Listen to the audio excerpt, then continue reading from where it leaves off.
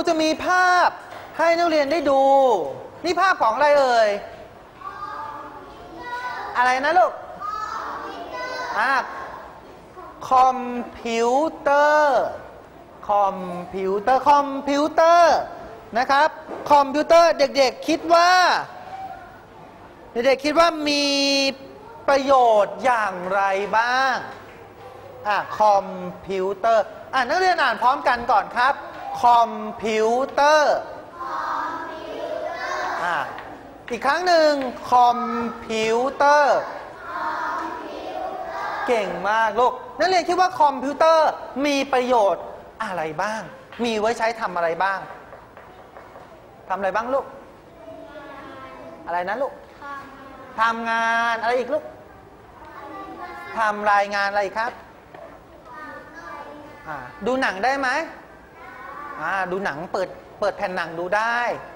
อีกอย่างหนึ่งเล่นเกมได้ไหมอ่าเล่นเกมนี้สำคัญเลยใช่ไหมเอาไว้ผ่อนคลายนะครับ อย่างแรกก็คือพิมพ์งานนี่คอมพิวเตอร์ไว้ใช้ในการพิมพ์งานพิมพ์เอกสารต่างๆทำรายงานได้นะครับ เล่นเกมเล่นเกมผ่อนคลายความเครียด เสริมทักษะทางปัญญาได้ด้วยเช่นกันนะครับ รวมถึงไว้ดูหนังแล้วก็ฟังเพลงได้ คอมพิวเตอร์เห็นไหมมีลำโพงเนี่ยมีลำโพงก็จะต้องมีไว้ใช้ฟังเพลงได้เช่นเดียวกัน สุดท้ายอย่างหนึ่งสำคัญเลยสำคัญเลย ก็คือมีไว้ใช้สำหรับค้นหาข้อมูลทางอินเทอร์เน็ตนั่นเอง เด็กๆรู้จักอินเทอร์เน็ตไหมอ่าอินเทอร์เน็ต อินเทอร์เน็ตมีไว้ใช้ในการค้นหาข้อมูลที่เราต้องการจะทราบนะครับ เด็กๆไม่จำเป็นที่จะต้องไป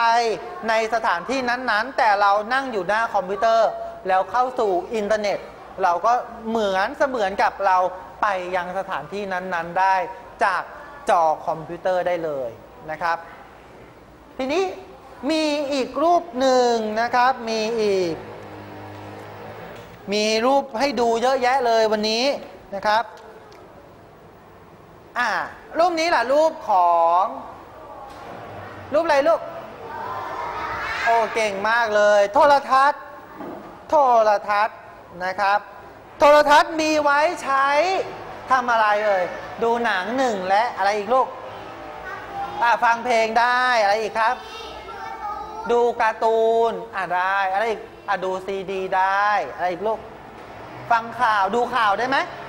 อ่าดูข่าวดูสารคดีเกี่ยวกับสัตว์โลกได้ไหมอ่าได้นะครับ ทีนี้คุณครูสรุปออกมาว่าโทรทัศน์อาจจะมีไว้ใช้ในการดูข่าว ดูข่าวเเด็กๆดูข่าวบ้างไหมลูก ดูข่าวบ้างนะครับ ไม่ใช่ว่าเอ๊ะเราไม่ใช่เรายังไม่โต เรายังเป็นเด็ก เราจะดูแต่การ์ตูนอย่างเดียวได้ไหมอ่าไม่ได้ต้องหาความรู้เกี่ยวกับบ้านเมืองเกี่ยวกับเหตุการณ์ที่เกิดขึ้นในชีวิตประจำวันเราด้วยนะครับ ดูข่าวอ่าดูละคร ดูละครดูไหมลูกอ่าชอบดูไหมชอบดูไหมอ่าดูเรื่องอะไรเอ่ยดูเรื่องอะไรลูกละครอะอ่า ดูละครได้นะครับดูละครช่องอะไรลูกช่องเจ็ดช่องห้าช่องสามช่องเก้าเยอะแยะมากมาย ดูละครได้ เพื่อความบันเทิง ดูข่าวก็เป็นสาระนะครับ เป็นสาระความรู้ ต่อไปล่ะอะดูการ์ตูน ดูการ์ตูนได้เช่นเดียวกัน ชอบดูไหมครับการ์ตูน ชอบดูการ์ตูนไหมลูกอ่าการ์ตูนเรื่องอะไรมั่งอะ อะทอมแอนเจอรี่มิกกี้เมาส์ใช่ไหมโดเรมอนชอบไหมโอ้โดเรมอนชอบเลยคุณครูอยากได้สักตัวหนึ่งอะโปเกมอนอ่าทอมแอนเจอรี่โอ้เยอะแยะเลยการ์ตูนอ่าต่อไปอาจจะรายการต่างๆก็ได้ยกตัวอย่างเช่นเกมโชว์ใช่ไหมลูกเกมโชว์ต่างๆอ่าเกมโชว์ชิงร้อยชิงล้านอะไรอย่างเงี้ยใช่ไหมลูกหรืออาจจะเป็นอ่าพวกเกี่ยวกับความรู้นะครับความรู้ต่างๆ นะครับฉลาดรู้ฉลาดล้ำโลกอะไรแบบนี้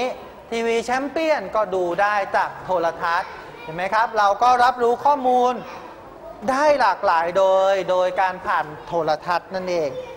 อะอีกภาพหนึ่ง อันนี้อะไรลูก อะไรลูก วิทยุอ่าวิทยุก็บอกเวลาได้เหมือนกันลูกอ่าวิทยุก็บอกเวลาได้เช่นเดียวกัน วิทยุนะครับ วิทยุมีไว้ใช้ เก่งมากเลย ฟังเพลงอะไรอีกลูก ฟังอะไรอีกอ่าฟังพระสวดอ่าฟังธรรมะ ใช่ไหมลูก หรือฟังข่าวต่างๆได้ รวมถึงอย่างที่นักเรียนบอกว่าฟังฟังพระเทศ พระสวดฟังธรรมะต่างๆ ได้เช่นเดียวกันนะครับ เป็นการฟังรายการต่างๆได้ ต่อไปอีกหนึ่งภาพ อันนี้เป็นภาพของเออกล้องกล้องเฉยๆใช่ไหมกล้องอะไรลูกเขาเรียกว่ากล้องดิจิตอลนี่อ่ากล้องดิจิตอลนะครับอ่านได้อ่านพร้อมกันครับ กล้องดิจิตอลอีกครั้งหนึ่งครับ กล้องดิจิตอล ดิจิตอลอ่าเก่งมากกล้องดิจิตอลนี้ กล้องมีไว้ใช้ โอ้เก่งจังเลย ถ่ายรูปนะครับ ถ่ายรูปเป็นรูปรูปอ่ารูปศาสตร์รูปคน ใช่ไหมลูก เป็นเกี่ยวกับภาพนิ่ง ถ่ายแชะนิ่งเลยใช่ไหมลูก นิ่งเลยในภาพออกมานิ่งเลย แต่เวลาถ่ายแล้วเคลื่อนไหวได้ไหม เวลาเราใช้กล้อง ดิจิตอลเนี่ยถ่ายรูปเคลื่อนไหวได้ไหม ได้นะครับ ถ่ายภาพเคลื่อนไหวก็ได้เช่นเดียวกัน เวลานักเรียนไปเจออะไรสวยๆนักเรียนเด็กๆก็ใช้กล้องดิจิตอลเนี่ยในการถ่ายภาพนิ่ง แล้วก็ภาพเคลื่อนไหวได้เช่นเดียวกันนะครับอะอีกอย่างหนึ่งสุดท้ายแล้วก็คืออภาพของโอ้เก่งมากเลย โทรศัพท์ โทรศัพท์มีไว้ใช้ ใช้ทำอะไรลูก อ่าฟังเพลงเล่นเกมได้ลูกได้ อะไรอีกลูก ถ่ายอ่าถ่ายรูปได้อะไรอีกครับอ่าไว้โทรหาการติดต่อสื่อสารกันเขาเรียกว่าติดต่อสื่อสารการโทรหากันรวมถึงดูหนังฟังเพลงก็ได้โทรศัพท์สมัยนี้ ใช่ไหมลูก สามารถโอ้ใช้งานได้เหมือนคอมพิวเตอร์เครื่องหนึ่งเลยนะครับ เล่นเกมก็ได้ใช่ไหมเล่นเกมรวมถึงค้นหาข้อมูลจากทางอินเทอร์เน็ตได้เช่นเดียวกัน สิ่งที่คุณครูได้ให้นักเรียนดูผ่านมาแล้วเนี่ยเรียกเรียกสั้นๆ รวมๆกันเป็นคำว่า เทคโนโลยีสาระ สนเทศนั่นเองนะครับ นี่คือเรื่องที่เราจะเรียนกันในวันนี้เป็นเรื่องของเทคโนโลยีสารสนเทศนะครับ ทีนี้เราไปดูความหมายของคำว่าเทคโนโลยีกันบ้างนะครับ เทคโนโลยีหรือเทคโนโลยีก็ได้นะครับ เทคโนโลยีหมายถึงการนำความรู้ ฟังให้เข้าใจนะลูก ฟังให้เข้าใจ เทคโนโลยีหมายถึงการนำความรู้ทักษะ และทรัพยากร ทรัพยากรก็คือสิ่งต่างๆ ที่อยู่รอบตัวเราเนี่ยมาทำการสร้าง มาทำการพัฒนาพัฒนาก็คือการทำให้ดียิ่งขึ้นนะครับ พัฒนาเกี่ยวกับสิ่งของเครื่องใช้ เพื่อที่จะใช้ในการอำนวยความสะความสะดวก ให้กับมนุษย์ และช่วยแก้ปัญหาต่างๆได้นะครับฝ่ายครั้งนะลูกเทคโนโลยีคือการนำเอาสิ่งต่างๆ มาทำการประดิษฐ์ อย่างคอมพิวเตอร์ที่นักเรียนเห็นอยู่ข้างหน้าเนี่ยก็ประกอบไปด้วยอะไรบ้างลูกสายไฟใช่ไหมเหล็ก สายไฟเหล็กพลาสติกใช่ไหมลูกก็นำมารวมรวมกันออกมาเป็นคอมพิวเตอร์หนึ่งเครื่อง เพื่อที่จะใช้ในการอำนวยความสะดวก ในการทำงานกับมนุษย์หรือกับเรานี่แหละ และช่วยในการแก้ไขปัญหาต่างๆนะครับ เทคโนโลยีอย่างแรกเลยที่ครูจะมาแนะนำก็คือหนึ่งก็คืออ่านี้โทรศัพท์อ่าเมื่อกี้ดูภาพไปแล้ว โทรศัพท์ โทรศัพท์นี้มีไว้สำหรับอ่าอ่าฟังเพลงหรือโทรหากันง่าย ๆ เลยก็คือ โทรหากันนะครับ โทรศัพท์ใช้ในการโทรหาการดูหนังก็ได้นะครับ ทีนี้เทคโนโลยีที่ชื่อว่าโทรศัพท์นี้ โทรศัพท์เป็นเทคโนโลยี เรียกว่าโทรศัพท์เคลื่อนที่ช่วยให้เราสามารถติดต่อสื่อสารกันได้อย่างรวดเร็วนะครับ ย้อนกลับไปเมื่อร้อยปีที่แล้ว เกิดยังลูก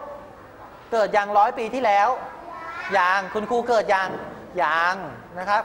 การติดต่อสื่อสารถ้าไม่มีโทรศัพท์ เด็กๆ คิดว่าใช้อะไรในการติดต่อสื่อสารลูก เวลาเราจะติดต่อกันเนี่ยแต่ละแต่อยู่คนละที่เราจะใช้อะไรในการติดต่อทราบไหมทราบไหมลูกอ่านก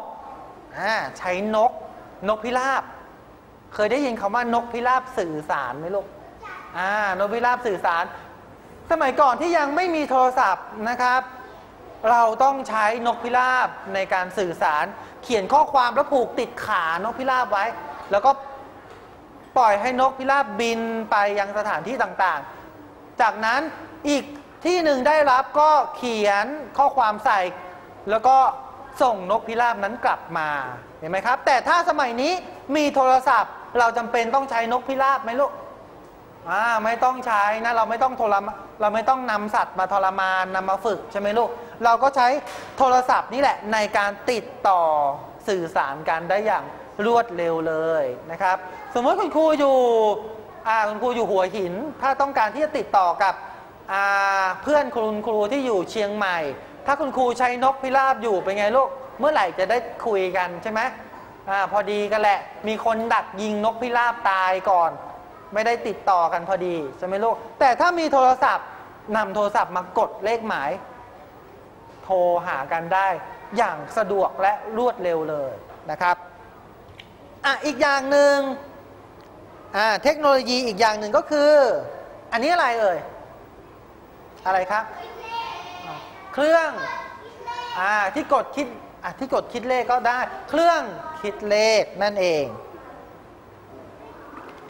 เครื่องคิดเลขก็บอกอยู่แล้วว่ามีไว้ใช้ในการคิดเลข ใช่ไหมลูก1บวก1 2บวก2อะไรก็แล้วแต่ เครื่องคิดเลขนะครับ ช่วยให้เราสามารถคิดคำนวณ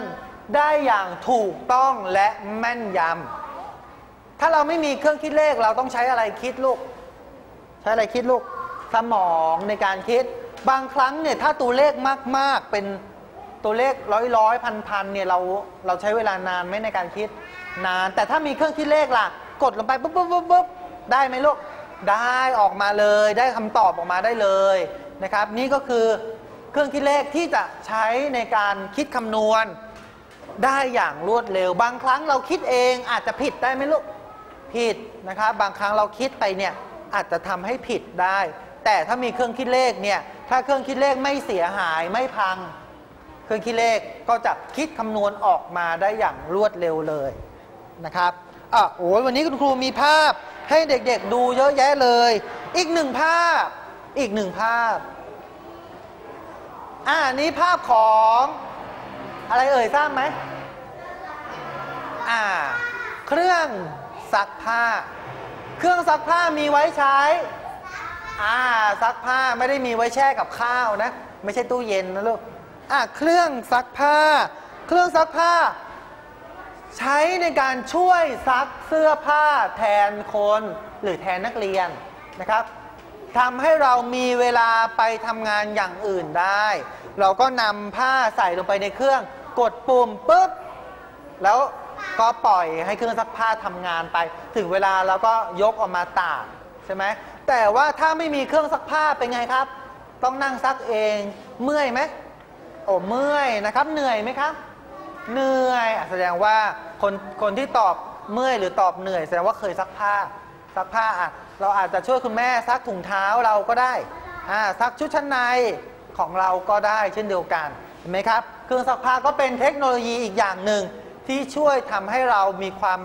สะดวกสบายมากยิ่งขึ้นนะครับอะอีกแบบหนึ่งอะอีกรูปหนึ่งอีกรูปหนึ่ง อ่าอย่าเพิ่งเบื่อนะลูกคุณครูมีภาพให้ดูเยอะแยะเลย อีกรูปหนึ่งอันนี้อะไรเอ่ยโอ้โหเครื่องอบลูกชิ้น อันนี้เขาเรียกว่า เรียกว่าอะไรเอ่ยเรียกว่าเตาไมโครเวฟเตาไมโครเวฟมีไว้สำหรับอะอบลูกชิ้นทำอะไรได้อีกลูกอะอบไส้กรอกทำอะไรได้อีกลูกเอาขนมปังใช้ทำกับข้าวได้ไหม อ่าใช้อุ่นอาหารอ่าใช้อุ่นอาหารใช้ทำให้น้ำร้อนได้ไหมลูกได้ไหมครับ ถ้าเรามีเตาไมโครเวฟหนึ่งเตาหนึ่งเครื่อง ก็สามารถที่จะช่วยให้เราทำอาหารได้อย่างรวดเร็ว